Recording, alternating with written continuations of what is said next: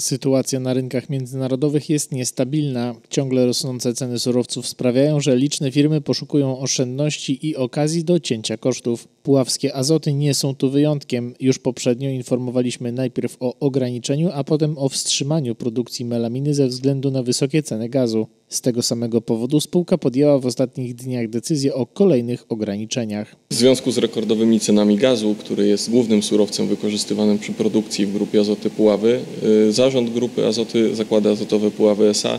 podjął 22 sierpnia tego roku decyzję o czasowym zatrzymaniu pracy kolejnych instalacji i ograniczeniu produkcji.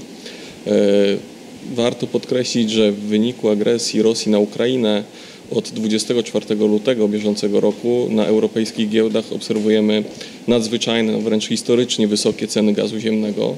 E, notowania gazu w okresie ostatniego półrocza wzrosły blisko czterokrotnie. W lutym to była cena 72 euro za megawattogodzinę, natomiast 22 e, sierpnia e, to był już poziom 276 euro za megawattogodzinę.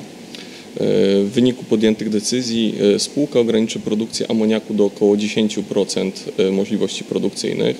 Zostanie wstrzymana produkcja w segmencie tworzywa oraz w segmencie agro, za wyjątkiem produkcji siarczanu amonu z instalacji odsiarczania spalin, noksy, likam oraz pulnox. E, w trakcie ogłoszonego postoju instalacji produkcyjnych realizowane będą procesy inwestycyjne oraz remontowe.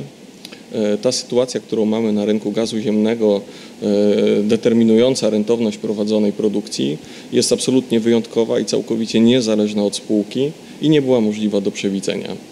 Jednocześnie informujemy, że podjęta przez zarząd decyzja o odstawieniu instalacji nie spowoduje zmiany aktualnej sytuacji pracowników. Grupa Azoty Puławy należy do czołowych producentów nawozów sztucznych, a także jest jednym z największych pracodawców w województwie lubelskim, zatrudniając około 3000 osób. Rozpoczęliśmy budowę trzeciego budynku w ramach osiedla Słoneczne Piaski 2 u zbiegu ulic Woźnego i Bernaciaka Orlika. W ofercie 40 funkcjonalnych dwu- i trzypokojowych mieszkań o metrażach od 39 do niemal 62 metrów kwadratowych z miejscami postojowymi w parkingu podziemnym, zewnętrznymi oraz komórkami lokatorskimi. Termin zakończenia inwestycji trzeci kwartał 2023 roku. Szczegóły w biurze sprzedaży Magdom Holdings SA przy przy ulicy Dęblińskiej 18 w Puławach. Telefon 81 888 55 15. Pełna oferta na stronie www.magdom.pl